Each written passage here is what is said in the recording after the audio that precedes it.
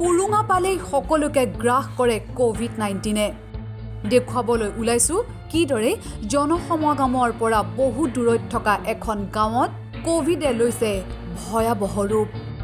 কাজিৰঙা ৰাষ্ট্ৰীয় উদ্যানৰ দক্ষিণে কাৰ্বি আংলঙৰ প্ৰকৃতিৰে মনোমোহা দৃশ্যৰে ভৰপূৰ। এই গাঁওখনৰ নাম ইংলে পথাৰ। জনসমাগমৰ পৰা বহু দূৰৈত অৱস্থিত ইংলে পথাৰ।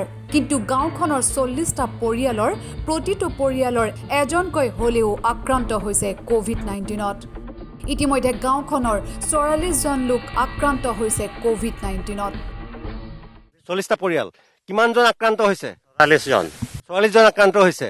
প্ৰতিটো পৰিয়ালতে কভিড হৈছে নেকি ইয়াৰ? প্ৰতিটো পৰিয়াল? পৰিয়াল মানে চৌৰাল্লিছ কেৱল চহৰ অঞ্চলতেই নহয় জনাঞ্চলৰ পৰা বহু দূৰত থকা ইংলে পথাৰৰ দৰে গাঁৱতো দেখা গৈছে কভিড নাইণ্টিনৰ ভয়াৱহ সংক্ৰমণ। কিমান ক্ষিপ্ৰতাৰে কভিড নাইণ্টিনৰ সংক্ৰমণ হয় ইংলে পথাৰেই ইয়াৰ এক উদাহৰণ। কেমেৰা পাৰ্চন প্ৰিয়মজ্যোতি শইকীয়াৰ সৈতে কাজিৰঙাৰ পৰা ৰঞ্জিত ৰজক নিউজ লাইভ।